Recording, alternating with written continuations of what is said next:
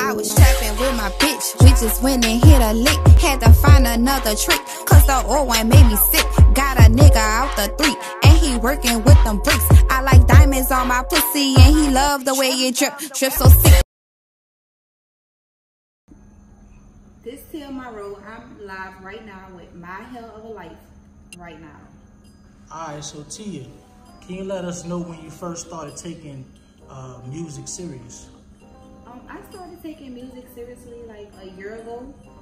Um, I basically started like recording more than just freestyling on my Instagram live. Alright, so before that it was just like playing around and then what you felt like, oh I got some talent or somebody told you, yeah, you should take this serious?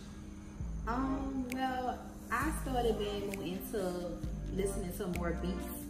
So that's when I started wanting to actually like, you know, write stuff down and, you know, actually recording and really hear myself instead of just, you know, just letting everybody tell me on live, oh, you know, you know how to rap, you sound good. So that, that really like motivated me to really get into it.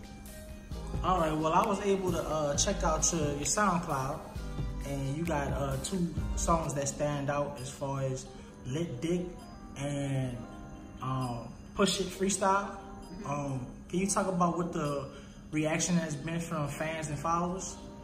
Um, has been really crazy. Like most of my fans and followers, like in Ponchatoula, different parts of Louisiana, have really been like DMing me about like crazy, like how they DJs playing a song in the clubs and oh, it's my Push It Freestyle. Like the whole city is like so supportive with that one. Like I love it. Like I'm just so excited to you know introduce more music to my city and other cities that's in Louisiana.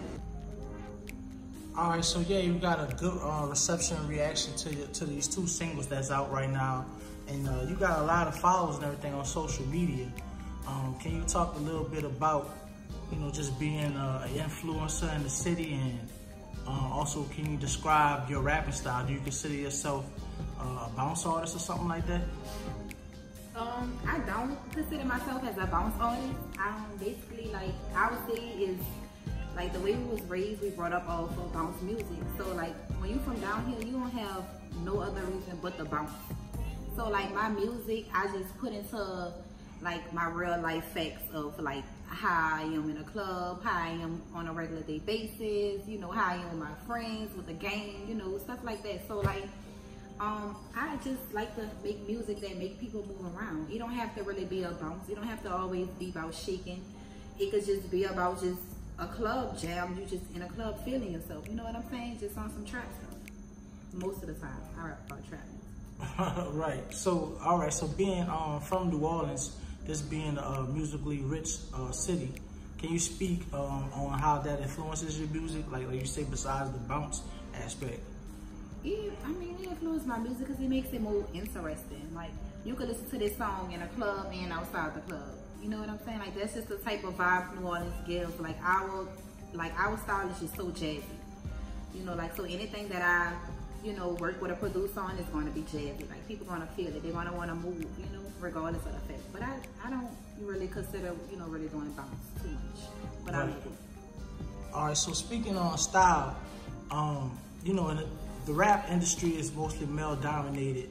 And uh, can you speak on, uh, as far as being a female MC, um, do you feel like you have to live up to uh, certain other images that's in the game, like maybe a Nicki Minaj or like the old Lil Kim or something like that, or, or recently like the City Girls type of vibe? Um, no, I consider myself as just like being myself. Um, like I was raised to like always be yourself. People just feel you better than you trying to be somebody else.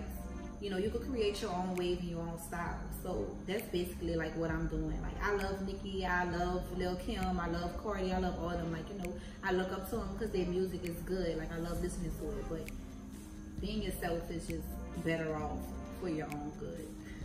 Well, just a, a quick question about um, I've heard some people in New Orleans, uh, I've seen like on Twitter, but some people say that the city girls, they they um, music feels like they kind of stealing the vibe of New Orleans.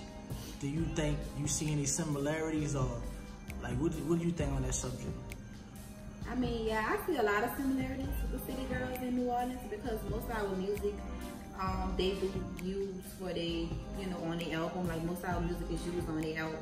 So like, yeah, I do see a lot of the stealing things going on, but um, you know, like we just authentic. Like you know, we official. This New Orleans. Like you can't. If you're not raised from here, you can't make it up. Like it's no way. You know what I'm saying? Yeah, I feel is it. what it is. Like basically. All right, well, still on the subject of being a female rapper, um, can you speak on, do you feel like there's any like challenges or things that you face um, in the rap industry because you're a woman, like specifically?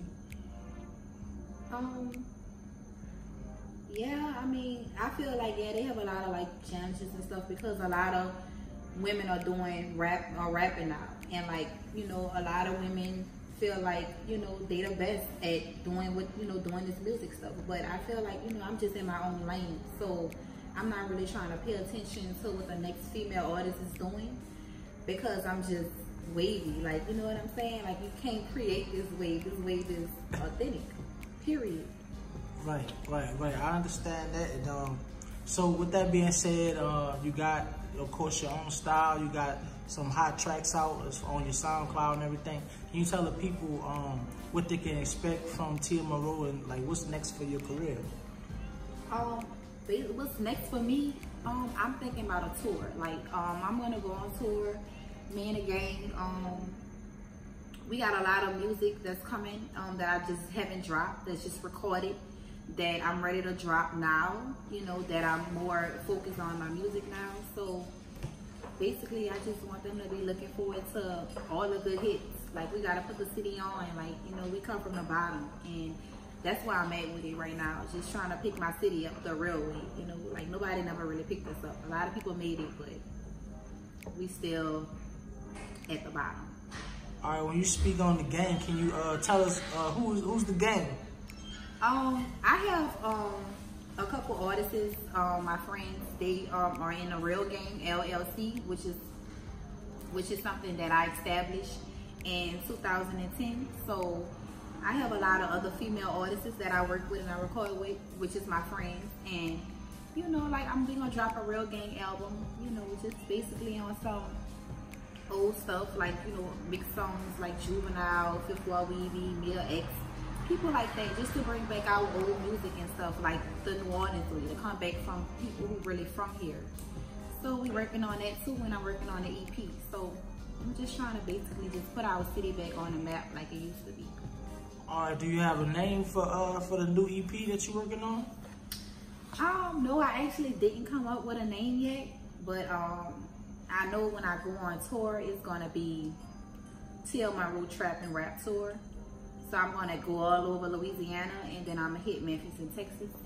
So, cause I have a lot of support out there too. So I just love all the support and all the good ideas and all the feedback that I get from everybody.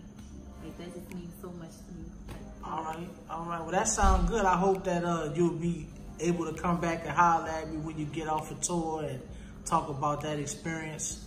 And of course, I'm going to feature your uh, uh, article whenever you're ready to put out that EP. You know what I'm saying? So I thank I you for. the love.